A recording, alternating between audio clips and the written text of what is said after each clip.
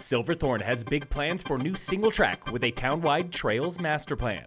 Phil Lindeman, Krystal, 93 News. First, it's opening weeks of the flu season in Summit County after a historically long season last year when up to 42 million Americans fell ill with the flu, sending 647,000 to the hospital and killing 61,000. We know that we've had one case at Summit already this year. That was Dr. Meg Austin with St. Anthony's in Frisco talking about this season. The CDC reports flu activity in Colorado is minimal so far, same as 49 of 50 states. Only Louisiana has seen more flu cases than usual. We just anticipate the regular viruses that are frequently circulating and emphasizing that influenza vaccination is the number one thing people can do to have a great ski season. Flu shots are available now through St. Anthony's, local clinics, Safeway, and Walgreens.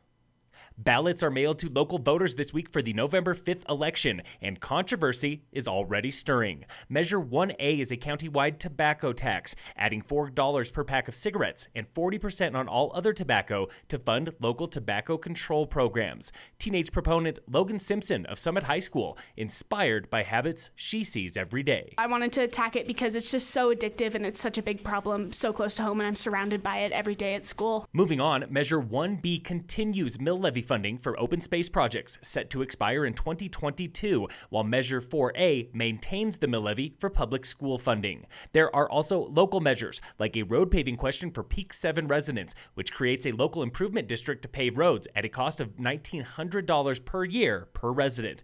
Paving proponent Mark Wimberly explaining why now is the time. They're spending a lot of taxpayer money in keeping the road just to where it is passable and that it doesn't have potholes and washboards. The Summit School District has elections and a packed field of 10 candidates. Nine of the 10 meet for a public forum this Thursday, October 17th at Summit High School. That's this Thursday, 5:30 p.m. at Summit High, open to the public.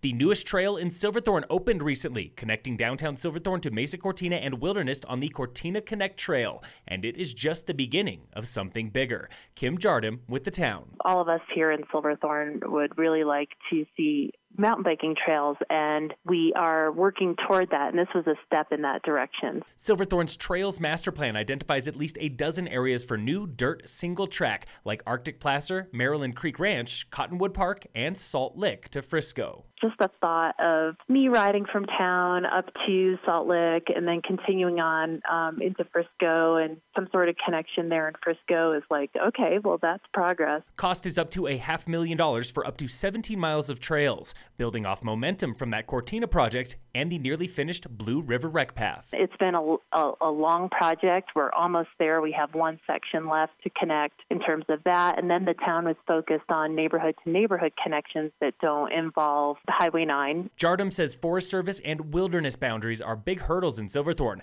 and warns that a new trail network is still years in the future. Expect trails to open one at a time over the next several summers. Local fire danger is moderate today, still with stage 1 restrictions. Fires remain banned in the backcountry, and the Summit County shooting range in Dillon has limited hours, closed now until 7 a.m. tomorrow.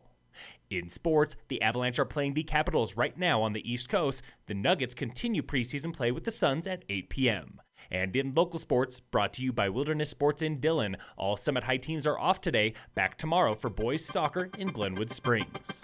Phil Lindeman, Krystal, 93 News.